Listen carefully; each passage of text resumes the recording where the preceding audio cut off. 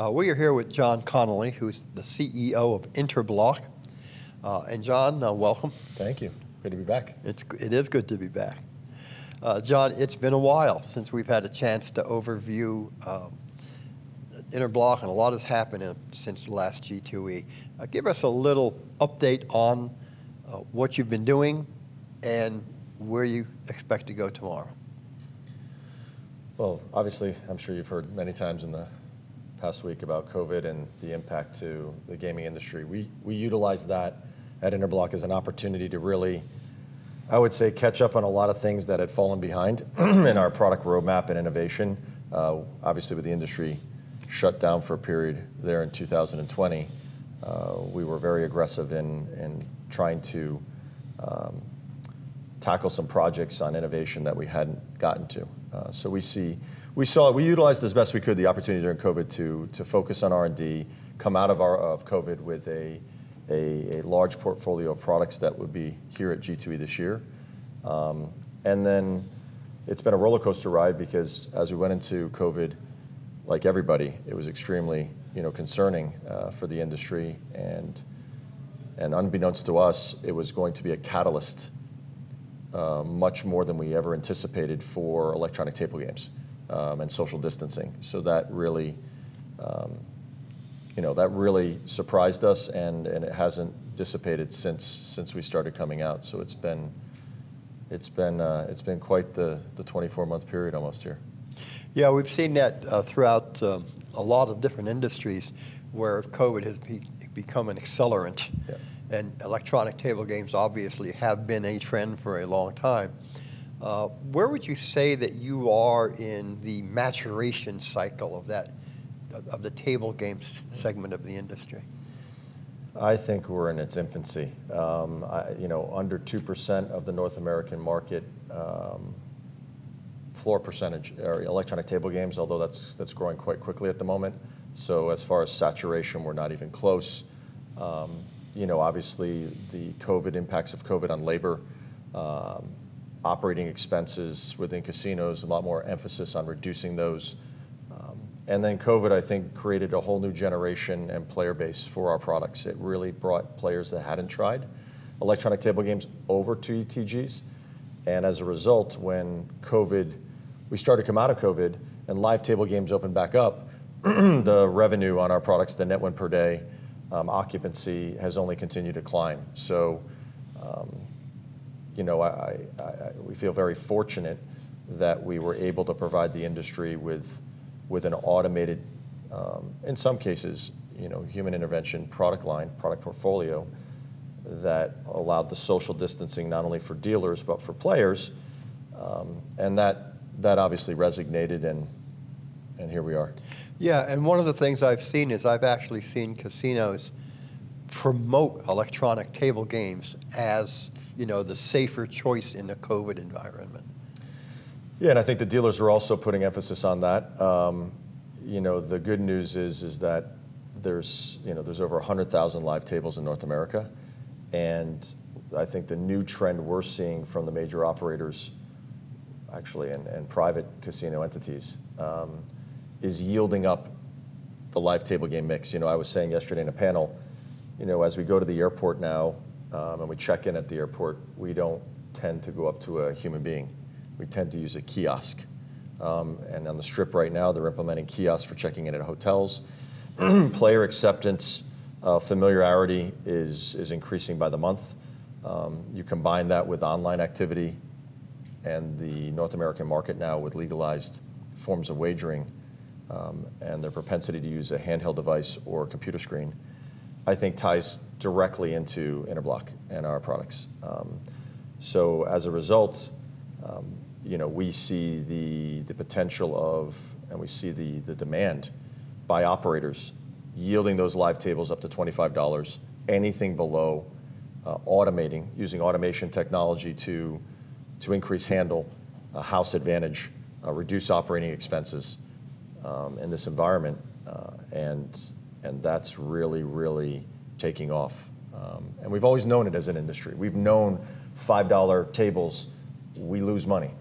And, all, when you look at all the direct and indirect costs, a $5, $10 live table, uh, an overflow pit, I mean, it's utilized under 30 hours a week in many cases, and the rest of the time it, it sits there dormant, taking up valuable square footage.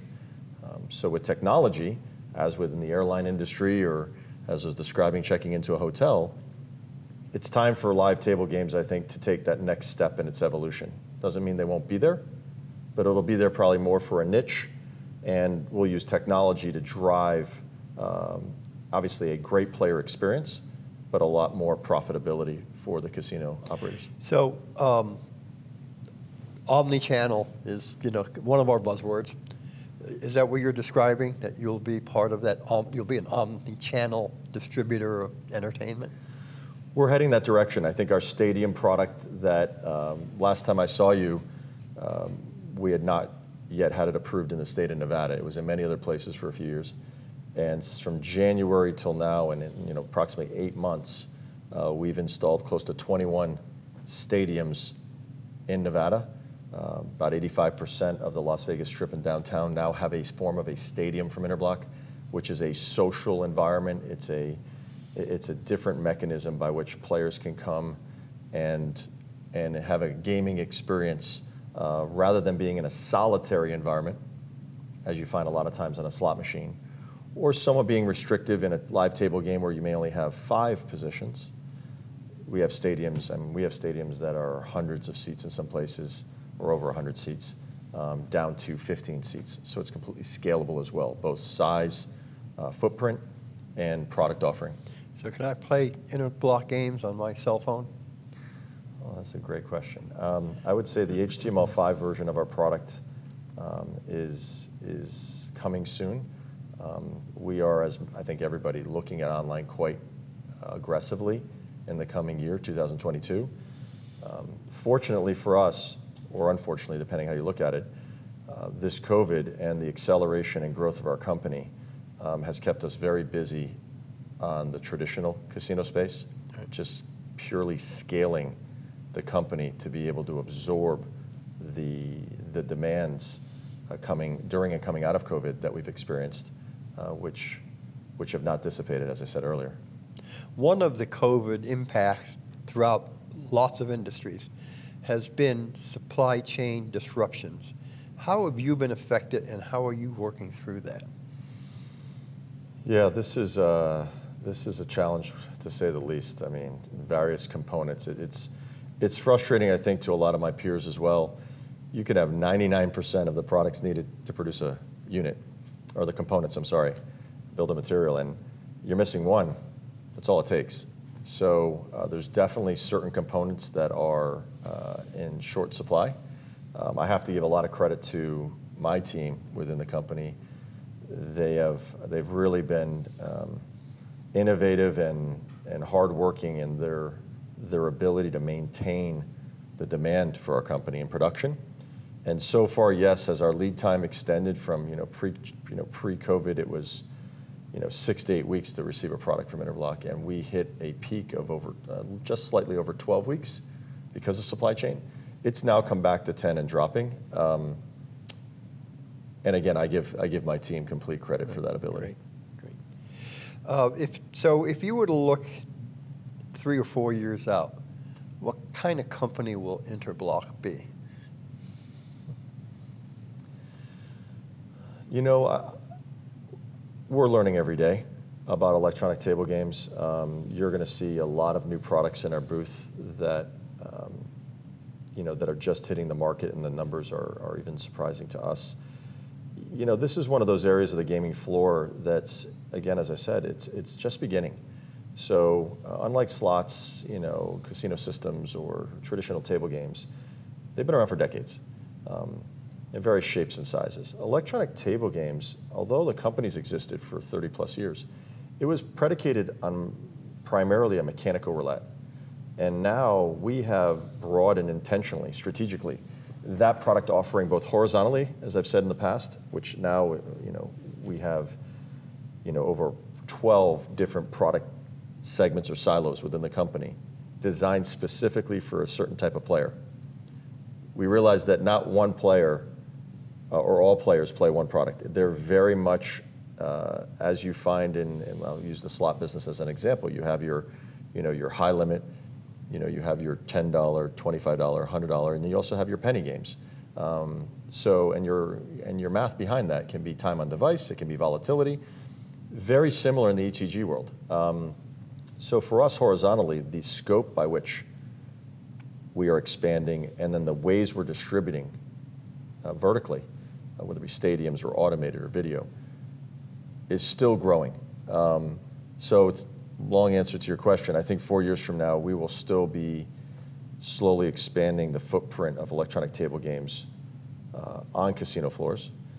But as a company, I mean, at some point, we need to, we need to take that expertise and diversify um, and expand, whether it be into online or into certain segments of gaming uh, or periphery that, that's complementary to our, our skill sets and our strengths. And we'll be looking at those. And we already looking at those, right? So. One of the questions we ask uh, each time is, um, will you be a public company at some point? And every time you make me laugh.